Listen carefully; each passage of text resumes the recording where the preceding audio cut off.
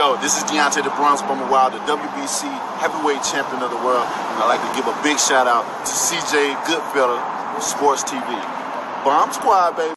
Don't forget to check out our sponsor, The Health Blaze, at thehealthblaze.com. 100% all natural products from lotions, soaps, foot soaks, bath bombs, and much, much more. Use the promo code Goodfella1Boxing. Tell them your boy CJ Goodfella sent you get 18% off. We out. All right, Lou DiBella did an interview with IFL TV that sparked a reaction from Anthony Joshua, and it hasn't yet sparked a reaction from Deontay Wilder. But let's talk about it. We back, Goodfella Sports TV. Make sure you hit that subscribe button, bell icon button, share the video. I appreciate the love, support. Um, and Lou DiBella basically said that he was exiled from Premier Boxing Champions when he proceeded to make uh, Anthony Joshua versus Deontay Wilder. He said when he set those meetings up with DAZN and Wilder that basically Al Haymon and Shelly Finkel didn't want that or whoever is controlling Deontay Wilder, they didn't want that. And that, you know, sparked the reaction from Anthony Joshua, which he said on Instagram that when the loyalty falls apart, the truth comes out. So like I said, I remember going back about a couple years ago when people were saying, "Well, Wilder the only the real one. Wilder's the only real one that want to fight everybody." And I've been telling you guys that I wouldn't say that as well neither. I like Deontay Wilder, spectacular fighter, true real black champion, and it doesn't change my opinion that I feel that he would beat Anthony Joshua. But once again, it's Al Haymon and Premier Boxing Champions denying you guys another fight that you want to see. And I got some more. I got another video that's gonna come and blow you guys' mind all the truth is coming out. Now people say, well, Lou salty. Well, you got to remember, like if you watch the interview, and I put the interview in the description or the source link, Lou DiBella started off with, well, he was HBO executive for about 10 or 11 years. And based off of that, he says he's going into the Hall of Fame, which he must be a Hall of Fame inductee uh, this year. And um, he ran HBO. And he told, he basically in an interview explained how to help. He said you have a strong quality control guy that basically, you know, he basically picks up the fights or denies the fights that should be on HBO. And if he said every network had a strong quality control guy, a guy that approved and decline fights, in boxing would be a lot better. And that's not the case. Showtime don't have that. Premier Boxing Champions that work on Fox, FS1, DAZN, and he touched on Eddie Hearn as well too. You know, he basically said that Eddie Hearn is spending all this money in a market that he has no idea with, which a lot of people said before, include myself, and he hurting the game as well too. He said that first. And he said people like him is getting effed over. It is true. The main events, the the uh, the DiBella Entertainment, the uh, TGB Promotions, uh, Samson Tulawinski, they got to pick a side. And if you're not with a big, if you're not with a big player, if you're not with Top Rank, or you're not with DAZN, or you're not with Premier Boxing Champions, then you're gonna get rolled over. You know what I'm saying? If it wasn't for Showtime, Dmitriy Salita, whatever his name is, he wouldn't be on TV. If Showtime shut today down today, Dmitriy Salita would have to go either work with Al Haymon or have to go work with DAZN, or he had to go work with Top Rank. And like Lou DiBella said, it shouldn't be that way. He said Sergey Derevyanchenko has received one fight offer since beating Triple G, since losing to Triple G in a close competitive fight where people thought he got robbed. That, in his opinion, was fight of the year. You know, he got mad when asked if Regis Prograis contract was up. He almost walked out the interview and said that the guy that was interviewing wouldn't ask Eddie Hearn that question, which IFL always asks Eddie Hearn like questions like that. But he basically explained that you know when you're dealing with a fighter that's on his last fight with his contract or at the end of his contract, you know his contract is truly not over because of stipulations. Because he always can match and bring them back. So boxing contracts, like I try to explain to people, people say, why did Bud sign back to top rank? I can't really explain something that people that, that don't want to sit down and listen. I've been saying it the whole time. It's because top rank has the right to match any offer or as well Crawford can fight for a championship and extends his his contract by two or three fights, whatever it is. So, boxing contracts is not like NFL contracts where you sign to fight five years or play five years, or you sign a, an NBA five years of your contract up, you a free agent, or they can tag you for one year, franchise tag you in the NFL, um, or franchise tag you a second year, put the transitional tag. Boxing contracts are not like that. People think it's one plus one equal two. It's far from it. But it's a, it's a dope interview. You know, he talked about a lot of things. And it may and it may it kind of he kind of exposes the dirty tricks in the industry. But back to talking about what he said about Deontay Wilder, and I'm gonna just roll the rest of the video with that and, and kind of give my synopsis on what AJ said. I believe it. I believe it. Al Haymon and Shelly Finkel and them, premier boxing champions, they don't, they don't, they don't want to submit to Eddie Hearn. They don't want Eddie Hearn. They don't want to have Deontay Wilder go fight Anthony Joshua on Eddie Hearn terms. No matter if they no no matter if they feel Deontay Wilder would knock him out in a matter of rounds or a matter of seconds or minutes, they the ones holding up that fight. To be honest, when he made the fifty million dollar offer, everybody was saying, "Well, you know, uh, you know, AJ got to take it. Take it. He ducked fifty million, right?" Around a year later, he was offered 120 million dollars, 100 million for a fight, 125 fight. It was it was two offers for 100 and 125. The fights was the amount of fights was different. And Wilder ducked the ducked the ducked the uh, contract, and he went to Showtime to fight Dominic Breazeale. Now that fight was had to be on pay per view, but Showtime and Al Haymon scraped the money together via Stephen Espinoza uh, vo- uh, voice or his opinion or that his statement on the Boxing Voice last week, and they got twenty million dollars together for Wilder to fight Dominic Breazeale and keep it on regular Showtime. Now I reported that he was getting 20 million, but hey, nobody wanted to believe me. But hey, so instead of him taking the deal and it was a good deal, pretty much, you know, Al Haymon they they pretty much said no. They made Deontay Wilder turn down the deals because they don't want Wilder going to be on AJ terms, but AJ holds three belts. And he owes to IBO. AJ is the star. AJ's putting 100,000 people in their stadiums while Wilder's failing to fill up the MGM Grand Garden that holds around 15 or 16,000 for a boxing event. Why him and De- him and Tyson Fury failed failed to fill up the Staples Center. Why they won't sell out the the uh, T-Mobile Arena. Now Lou DiBella, you know, said wasn't no salty grapes, and Wilder still him and Fury still one A, one B, or one and two in the division you know, which I feel that Wilder Fury would be Anthony Joshua as well. But he kept it real. He said he was exiled, meaning he was banned from Premier Boxing Champions for trying to make Anthony Joshua and Deontay Wilder fight and sitting them down with his own. Now, could he got a phone call from Al Haymon and say, "Well, don't set this meeting up," or could he been warned about setting this meeting up, or did he know the agenda from Premier Boxing Champions not to make this uh that that meeting you know, meeting happened or they really didn't want to fight Deontay Wilder fight Anthony Joshua.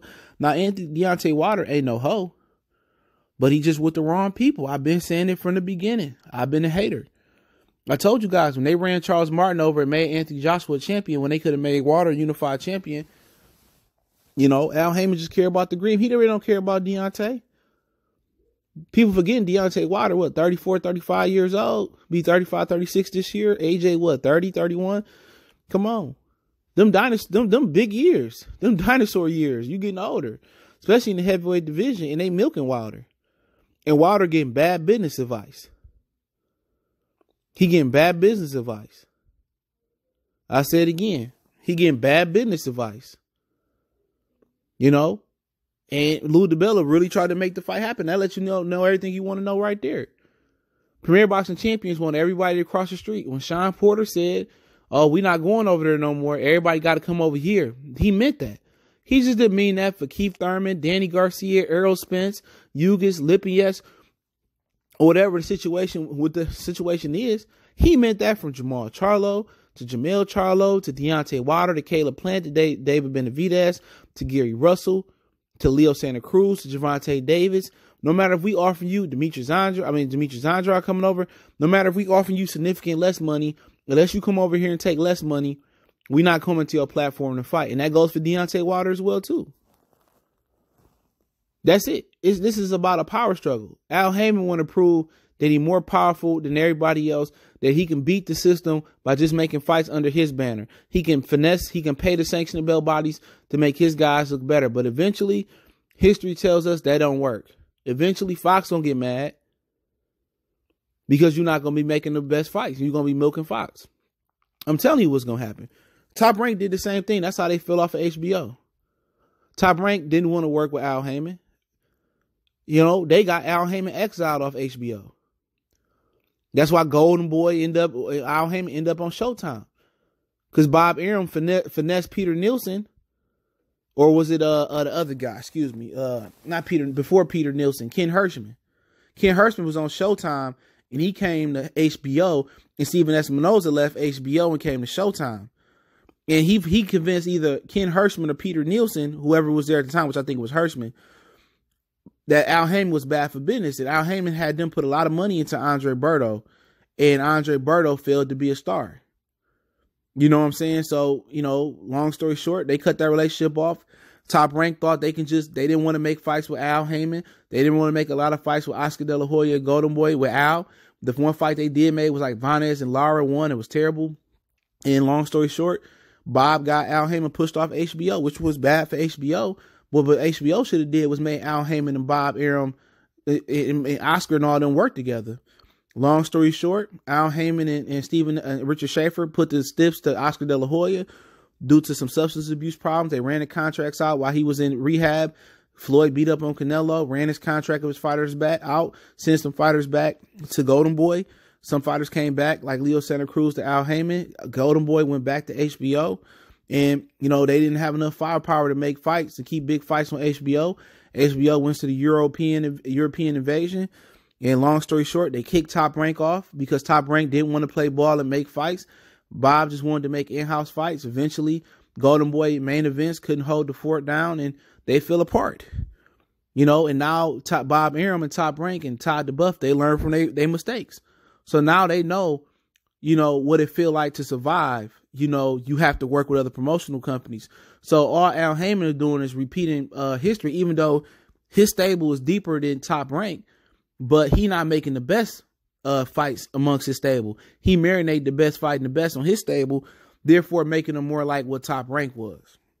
So history repeats itself.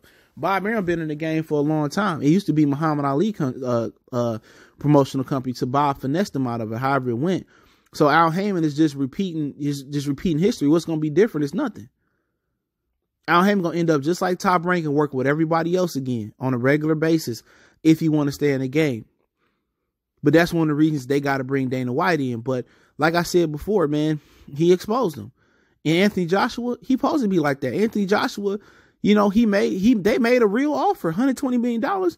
Wilder not gonna make that fight in Fury five times probably. Know, I say that jokingly, but he not gonna make that. You know, he, they're not gonna do no huge pay per views, no two million dollar million pay per views. This pay per view was lucky to do five hundred thousand. You know what I'm saying? He could have fought Anthony Joshua. He could have got twenty to fight uh, uh, Dominic Breazeale easy. Then he could have got a forty to fight Luis Ortiz again. Long as they approved him, then he could have beat beat Anthony Joshua by now. But he getting some bad advice. And Lou DiBella said he wished him nothing but the best, and he said we don't have no ill will towards each other because he can't be mad at Wilder. Wilder don't control his career. Al Haymon do. And Al Haymon had Andy Ruiz fire Manny Robles because Andy Ruiz was lazy. I got that confirmed. And Al Haymon got rid of Lou DiBella because Lou DiBella actually tried to make a fight happen. And Al Haymon wanted to happen on his terms. And Lou DiBella also touched on, you know, why wouldn't the fight happen in the UK? Why do why would Anthony Joshua come to America where Deontay Wilder can't sell shit out? And I'm paraphrasing there. I'm putting my own twist on it, but that's basically what he said in the interview. He said, "Why? Why stupid? Would the why would, would the Premier Box, would the Premier Champion League, wherever they call it, the soccer league, go somewhere else? No. The fight should happen in the UK because Deontay Wilder don't sell nothing out in America. AJ is the bigger star in a hundred thousand seat stadium, the atmosphere. Now, if Wilder was the big star and he had the IBF title, like Al Haymon should have fed him Charles Martin, then we had a different conversation. But he is the C side to Anthony Joshua's A side. Since y'all want to play A side, B side, he's the C side. Anthony Joshua is ten times the star Deontay Wilder could be. And people sit here and say, "Well, is a star." No, he not. How you a star? You not selling out in Vegas? How you start? You you can't you you did three hundred fifty thousand versus Tyson Fury, and it really probably was like three hundred thousand. You ain't no star. Anthony Joshua over there doing real numbers. Name me a time where Saudi Arabia offered uh, Wilder 85 million to come over there and fight. Come on. But y'all know what it is, man. Goodfellas Sports TV. I'll put the IFL interview in the description. Uh, Anthony Joshua had, I put a link in the description where he reacted to it on, on social media. But like I said before, man, uh, stop believing these fighters, bro. I had to get hip too. You know, and nobody isn't got impeccable character no more because they don't control their careers. But hey, uh, want to make a donation? PayPal, Cash App in the description. Appreciate it if you do make a donation, but the best donation you can make is hit that share button and share with another boxing fan. Check out our NBA, NFL, boxing news, boxing rumor, heavyweight, middleweight playlist. We got a ton of them to categorize our content. Don't forget we on Facebook, Instagram, Twitter as well. Email in the description. If you need to reach out to me if you got business question, inquiry, sponsorship, video request, one time for the one time. It's your boy CJ Goodfella, Goodfella Sports TV. And let me know what you guys think about the video in the description. Once again, the interview, script, the link is in the description under source link. Check it out. We gone.